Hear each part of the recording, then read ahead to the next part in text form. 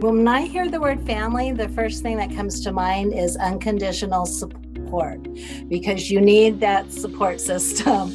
Um, everybody needs to, you know, be supportive of all your decisions you're making with the kids. Everybody needs to be on the same page. When he first came here, he didn't talk for about a week. He had come with injuries on his face and he was all stitched up after caring for him and and he just looked at me and just with these big brown eyes and said mom i love you. And it just like oh baby i love you too. And he calls me sissy or sis.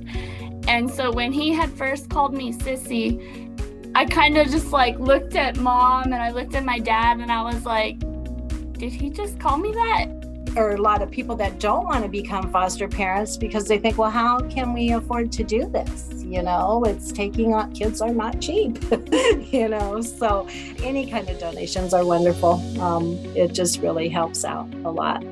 And a lot of times they'll say, Oh, these children are so blessed to have you. And it's like, No, we're blessed to have them. They have changed our lives so much.